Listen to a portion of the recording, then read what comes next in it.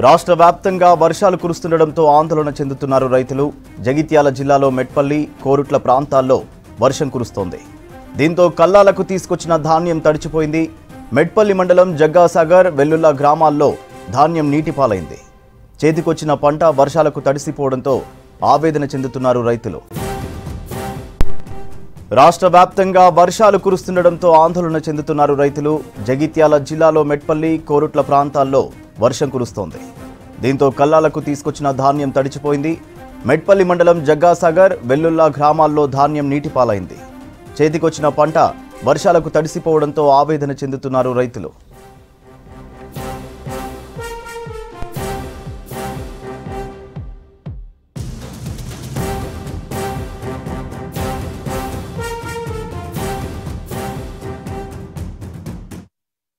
తొంభై శాతము వరి కోతలు కటింగ్ క్రాపు కోయడం జరిగింది.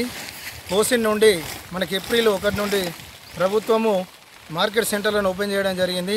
కానీ అధికారులు ఒకటి తారీఖు నుండి ఇప్పటి వరకు ఈ వడ్ల కొనుగోలు చేసినట్టయితే చాలా ఇక్కడ నుండి ఈ వడ్ల కుప్పలు అనేటి వెళ్ళిపోతుండే రైస్ మిల్లర్లకు ఈరోజు వాతావరణం వర్షం పడి రైతులకు చాలా ఇబ్బందిగా మారి వరి ధాన్యం దడిచిపోవడం జరుగుతుంది.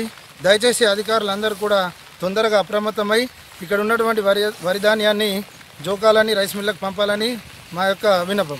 పోయిన సంవత్సరం కూడా ఇట్లనే వడ్ల కుప్పలు పోసిన తర్వాత వర్షాలు పడి చాలా ఖరాబ్ అయినాయి.